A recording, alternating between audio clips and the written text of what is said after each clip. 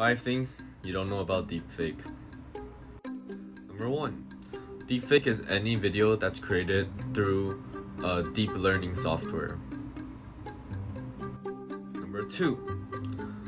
Is deepfake a crime? It's not until you get sued.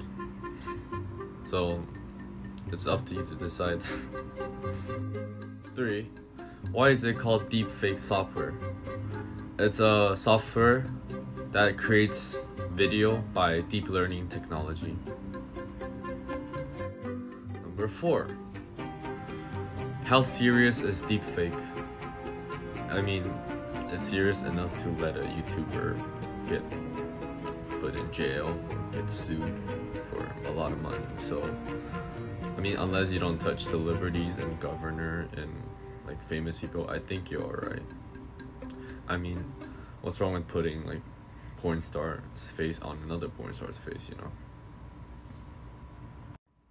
Number five.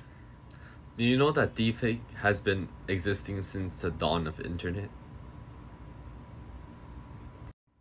Last but not least, let me know uh, what you want to see on deepfake in the comments. And make sure to follow my channel for more contents.